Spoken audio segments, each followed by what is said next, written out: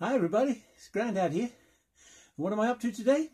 Well, I've got another build on the go and uh, this one looks as if it might be a little bit more successful. Now what I've done, I purchased off the internet this uh, crystal radio set and it's called uh, Grandad, Grandad Bob's crystal radio set. Now it wasn't very dear and it's come with all its bits and pieces but I thought I wouldn't uh, actually show the build on this one because it takes rather a long time. And what I've done, I've soldered all the uh, all the components with a few, bit of extra wires. And uh, it, that took a long time. So uh, I thought I wouldn't put that actually on a video. But uh, what it consists of, and this booklet is really good. It shows you uh, all the parts and it's even got a coil winding data sheet here, which is quite good. So you get plenty of information on where you can get the radio stations that you can pick up hopefully by winding the coil. Now the thing you have to do is wind the coil. So I bought a, a two inch tube. You don't get the tube with it unfortunately. You get all the other bits but you don't get the tube. So I bought this uh, tube from a stationer's. And uh, I'll just bring it in a little bit closer so you can see it. Uh, this coil and you wound it on this two inch tube. And what it's got is what they call taps. You start winding and you you put taps every so far along. And uh, I put those taps at uh, 15 turns 30 45 65 and 75 turns. Now that's more or less what it tells you in the in the booklet to do. I think I got a couple of extra ones on the end there that they uh, they said you could do. Well they didn't say they could do but I put them on myself so that was the coil and then I uh, lacquered the whole thing to make it look really uh, quite smart and tidy. Now, as I say, all the bits are there and it consists of, uh, I'll hold these bits up now, a little, uh, let's get the booklet open so I can tell you exactly what this is called. This is a tuning capacitor and it's quite a dinky little one. It's got three connections on it and that uh, tunes in your radio and uh, hopefully finds your stations. Now it's got a one of the wires it doesn't seem to have anything connected to so that's why there's loose wires here. But it's got three wires connections but you only seem to use two. You also get all the connecting joints which are little plastic connectors and you get this headphone which uh, I was wearing when we came in. Now this has to be a special headphone. It won't work with ordinary uh, headphones that you use for your iPlayers and your phones and all that sort of thing. There has to be these special uh, old-fashioned sort of headphones. But they give you that, so that's good. And you need another little thing, or a couple of little things here. These are uh, crystal diodes. Or they, they call it a diode here, but it's, it's what I used to call a crystal diode back in the day. And they're much smaller than they used to be. I, the, the more modern ones are much smaller and a little resistor which I didn't use back in the day when I used to make these crystal sets as a boy. Uh, the, the one they call the Boy Scout one I think. It's a slightly different uh, variation on this and I'm going to make that one with some bits and pieces when I get it. And uh, the idea is when you've got these taps I've got this uh, tap here this little cable here with a bull, bull on it and I can tap on to different positions on the coil in order to get me windings. Now to start with you get a lot of crackling and I've been listening in on it and when I first put it on it was working really well I wouldn't say it was working really well but it did work I picked up a, a couple of stations I got some people talking but for some reason which I don't understand because I haven't disconnected anything I tried one or two different things but for some reason just at this moment, it's, uh, I'm just turning the capacitor and uh, for some reason I'm not actually picking up a station. Now obviously these, these radios work uh, off uh, no electricity, so they're not very powerful.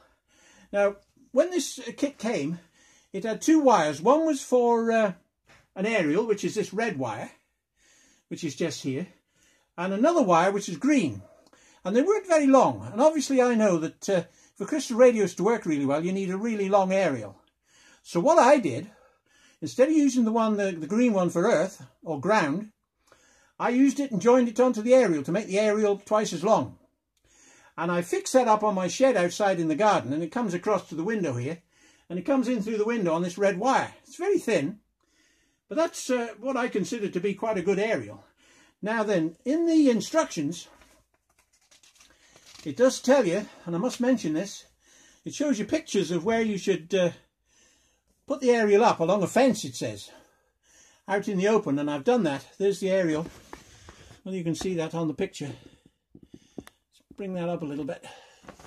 It shows you uh, a picture there where to where to put your aerial and bringing it down into the house. It tells you all about it. Earthing, the aerial, earth, earpiece, and it's very comprehensive. The resistor, the diode, crocodile clips, multi-tester, coils and aerials. So it's very comprehensive and very good. Now one thing that it does say, it's got a danger sign here. And one thing it says that you mustn't do, and I can understand why, because they wouldn't want children messing about with this and uh, electrocuting themselves by plugging these things into the mains. It does tell you to use an earth that goes to a water pipe or something similar into the ground as a ground earth. Now, I know that this house of ours has been inspected quite recently and the earthing is very good. It's been inspected and it's a really good earth. So what I've done, I've got this cable here, this black cable, and what I've done, I've wired a plug uh, into uh, a wire, in, just one wire into the plug, into the earth socket, into the earth connection on that socket. And I've got it going out the door into a plug hole. Now it does say it's dangerous and that you shouldn't do it.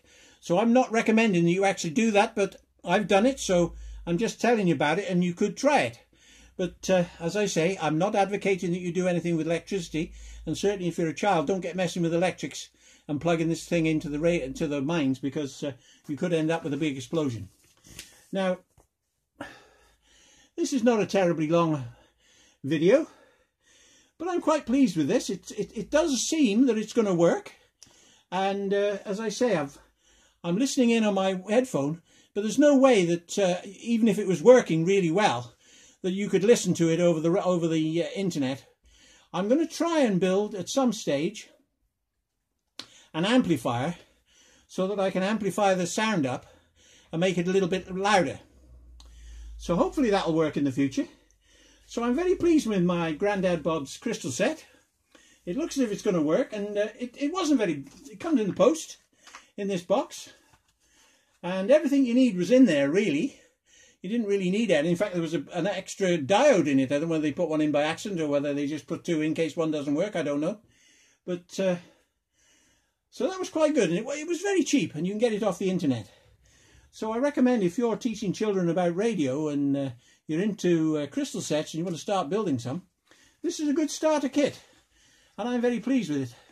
So I'll carry on with my uh, trying to tune in on these uh, on these little uh, wires here. I'm certainly getting crackles, so obviously something's connecting. But uh, this is slightly different to the ones I used to have. I used to have what they had called a wiper. And the wiper would go across the coil. Now whether that's a better way of uh, using the capacitor. And there's all sorts of different capacitors you can use for these. We use two different kinds. But I think the Boy Scout one used it a, a, a capacitor that rubbed along the coil. And you file a bit off the coil and you rub it along there. And that's uh, a little bit better, I think that can give it a bit more finer tuning perhaps. And maybe I need a bigger coil with more turns on it, I don't know. But uh, I'm sure there is radio stations out there and that if I fiddle with it long enough, I'll be able to pick them up. Maybe they're not all uh, in England here. We don't do much with uh, radio. In America, they seem to get a lot, more, uh, a lot more stations and picking up uh, with this kind of uh, radio system. But I'm going to make another one of these and this has been great fun making. And what I've done, all the resistors, I've added a little bit of wire because you can see this jumble of wire. Now what I'm going to do is set this all up on a board so that it looks tidy. Now I haven't done that, I've just sort of stuck it all together a bit rough and ready. But I've got a board here which uh, is uh, gluing. It's quite a pretty board. It's a little, it's a little kiddie's uh, uh, jigsaw puzzle. But I didn't want it as a jigsaw puzzle, so I've glued all the uh, sections in. And they should be glued in now with a little bit of PVA glue. I think that's dried off now. And what I'm going to do is mount this little crystal set all on this, uh, this board and trim the wires down accordingly so that it fits on and looks really good. And hopefully the crystal set will work. And that's my next little project to uh, put this little crystal set together on the board. And if I get any more success with it when I'm building other crystal sets and I get this one working, I may come back to it and show uh, the progress that we've made. So there we go. Uncle Bob's, uh, Grandad Bob's crystal radio set. that Grandad Jim has built to show his grandson some radio bits and pieces. So until next time, when I show you something else interesting, hopefully, it's Grandad saying bye-bye now, bye-bye now. Don't forget to subscribe and like.